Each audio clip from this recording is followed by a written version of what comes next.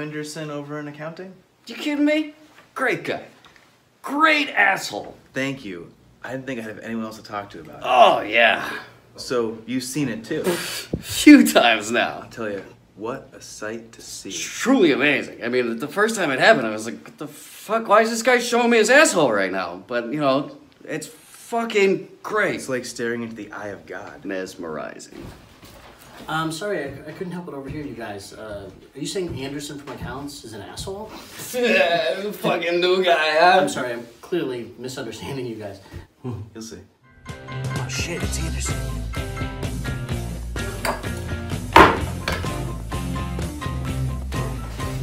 Gentlemen?